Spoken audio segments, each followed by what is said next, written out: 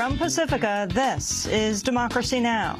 This is not the time for nostalgic commemoration, nor is this the time for self-congratulatory celebration. The task is not done. Their journey is not complete. We can and we must do more. 50 years after the 1963 March on Washington for Jobs and Freedom, where Dr. Martin Luther King delivered his I Have a Dream speech, his son Martin Luther King III addressed a commemorative march to say the work is not yet done, the dream not yet realized. Why do we need new ID now? We had ID when we voted for Johnson. We had ID when we voted for Nixon. We had ID when we voted for those that succeeded him, Carter, Reagan, Bush, Clinton, Bush again. Why, when we get to Obama, do we need some special ID? Today, we'll bring you highlights from Saturday's march marking the 50th anniversary of the March on Washington, from Reverend Al Sharpton to Reverend Jesse Jackson and Myrlie Evers Williams to the only surviving speaker from the 1963 march, 13-term Georgia Congressmember John Lewis. We're one people. We're one family. We're one house. We all live in the same house.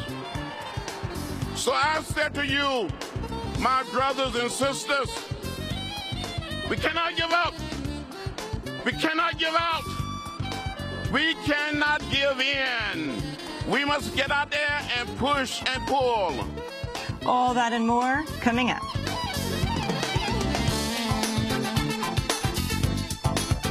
Welcome to Democracy Now!, democracynow.org, The War and Peace Report. I'm Amy Goodman. Syria has agreed to allow a UN inspection of the site of an alleged chemical weapons attack that killed hundreds of people near Damascus last week. A ceasefire was announced for the area during the inspector's visit. On Sunday, a spokesperson for the group Doctors Without Borders said three hospitals in the area had reported a death toll of 355 with symptoms resembling those from a chemical attack. We have been putting together a picture of what happened uh, during that night. What they have told us and the information we have received is that 3,600 approximately patients were received and 355 died.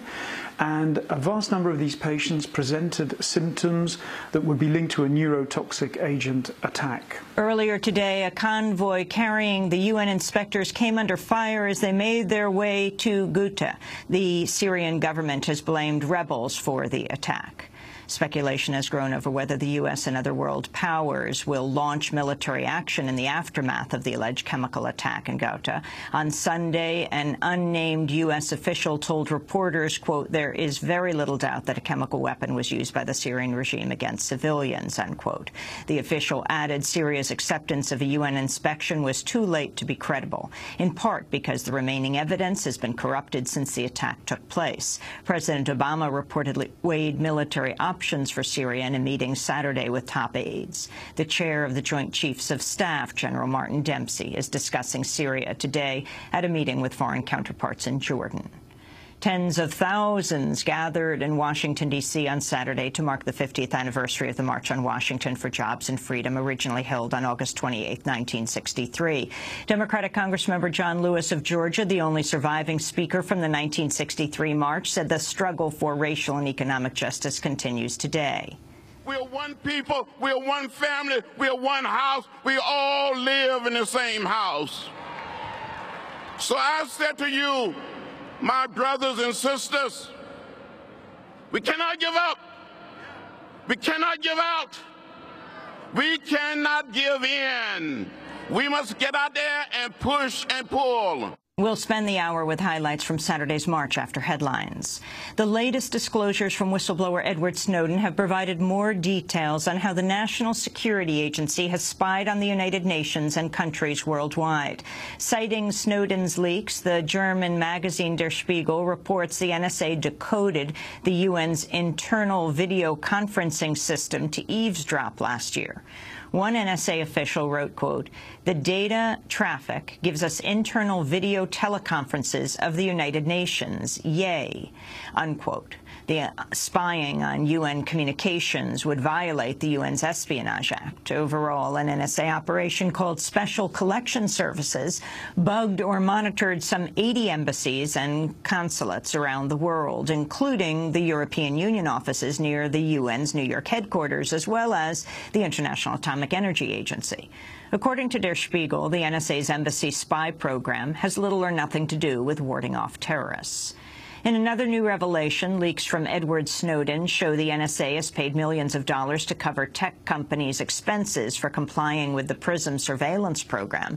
Through PRISM, the NSA has reportedly tapped directly into the networks of tech giants, including Yahoo, Google, Microsoft, and Facebook, to collect users' data.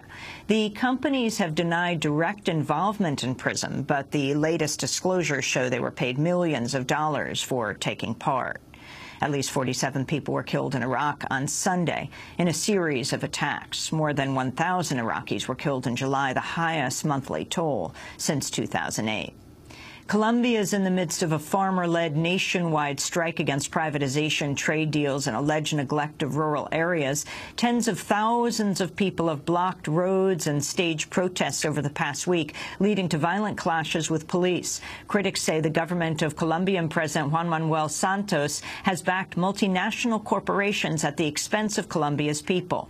One farmer said locals have been unable to compete with subsidized U.S. and European crops imported under so-called free trade trade deals. We came to support the protests of our friends from Boyaca and from every part of the country being affected by these famous free trade agreements that are sadly crushing the Colombian farmer. Here, we are not able to compete. The current demonstrations in Colombia mark the second wave of a national strike against Colombian President Santos that began earlier this year. U.S. Army Sergeant Robert Bales has been sentenced to life in prison for murdering 16 Afghan civilians during rampages on two villages last March. Bales was sentenced Friday after pleading guilty in June. He was spared the death penalty in return for his plea. A number of Afghan victims were flown to the U.S. to testify during his trial. An Afghan man who lost relatives in Bales' attack spoke out after the sentence was reached. We've heard the U.S. government say they're sending soldiers to bring democracy, freedom, and justice. But there are certain soldiers, such as this gentleman, who have actually committed crimes and murdered people. If I had a chance to talk to Sergeant Bales, I would ask him directly, right to your face, You're a murderer. Why did you do this? Did you ever think of being a human being? Because a human being wouldn't do this. Many Afghan victims and family members had called for Bales to receive the death penalty. During closing arguments last week, Bales apologized for the massacre, calling it an act of cowardice. Defense attorneys had argued Bales suffered a breakdown from post-traumatic stress disorder and a brain injury developed in multiple deployments to Iraq and Afghanistan. The massacre marked the worst killings of civilians blamed on a single U.S. soldier since the Vietnam War.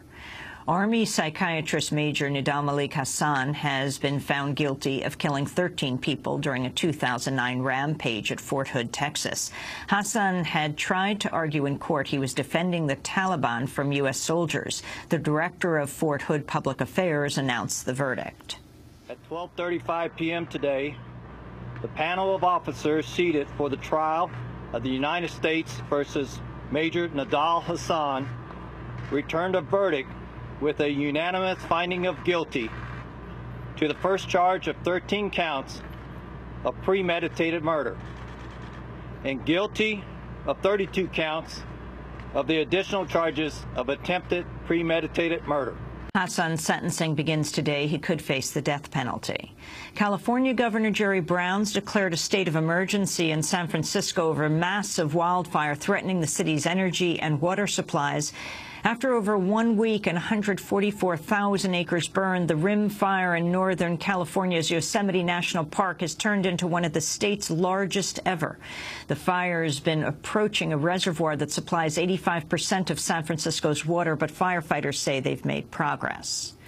San Diego Mayor Bob Filner has resigned after weeks of controversy over his alleged sexual harassment of women. 18 women have publicly accused Filner of unwanted sexual behavior ranging from verbal remarks to groping.